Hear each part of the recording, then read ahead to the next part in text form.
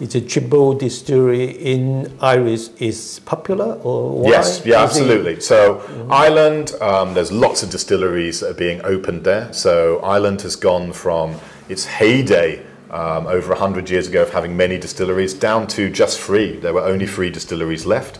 In the next few years, once again, there'll be over 40. So Irish whiskey is booming. The, there are lots of styles of whiskey being made in Ireland, lots and lots and lots. Uh, they're doing all sorts of different things.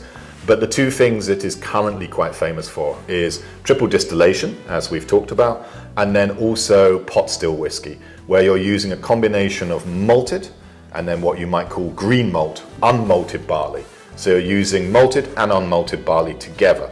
And that's really the only place in the world that, that's doing this, it's at least in terms of a category. You can't do this in Scotland. It must be 100% malted barley.